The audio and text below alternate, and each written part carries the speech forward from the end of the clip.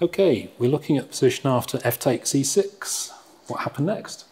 Yeah, this is an incredibly sharp position, and as you can see, both our kings are unsafe. So the kind of the position will hinge on whose king will get to safety. And after white played the really aggressive queen to oops, mm-hmm. sorry, Queen d3. sorry. queen to d3, it looks good. After all, it threatens the queen to come to g6 check.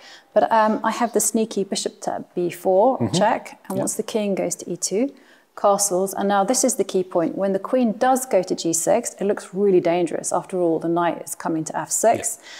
But I can actually just sidestep that check and just play king to h8. And suddenly, it's white's king that is totally in mortal danger.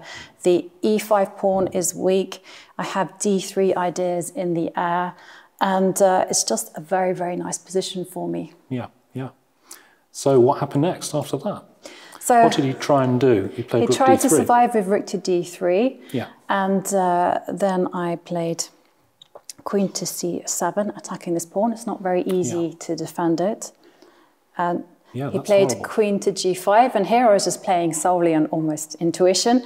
Um, I was thinking, you know, what are the consequences of his last move? You know, the queen took a step back. It allows me to come here Yeah. to f7, threatening to go queen to f2.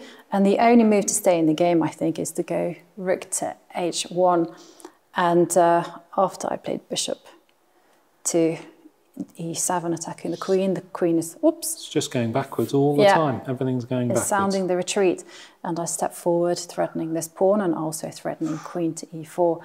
And uh, uh, it, it, it is pretty bad. As and, a uh, Caro-Kann player, I'd kill for that position as black. yeah, and it was going quite well until, um, if we can Yeah. fast forward over to like move to- 41, actually. Move 41, yeah. Yeah, so, you know, there were some clear cut ways how to win. And so far, so good. I survived this intense time travel.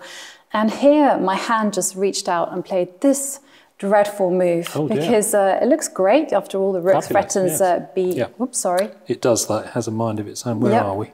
There somewhere? King b3? Yeah. Oh, that, sorry, yes, you played rook f2. Yeah, I, I let out uh, a terrible sound actually when I realized that rook takes bishop is actually possible. Ooh, And uh, pawn takes rook is met by queen takes rook. ouch. And that, I don't know what would happen there. Maybe I could have survived for a draw. yeah, yeah, yeah, but I was really kicking myself. Thankfully, my opponent didn't spot that and instead queen to b8. But after king to h7, you can be super calm and chilled about it. The knight comes Yeah. to f6. You can actually just take. And, yeah, uh, despite that check on yeah. h3. and so the rook nothing- will swing across to give a check. But Yeah. now, the, now you have to be a little bit accurate. But it's not so hard. The king comes to g6, and after the queen to g8, this is the point. The queen will intercept. And after queen to e8 check, You get the chased all the way up the board, but King goes to g5, and the beauty of the position is that uh, I still have rook to b2 in the bag, and also queen to b7, threatening checkmate. So it's game over. yeah, a nice, a good day at the office. Oh, uh, barring the blunder, I would say it was a good day. Thanks, Jovanka.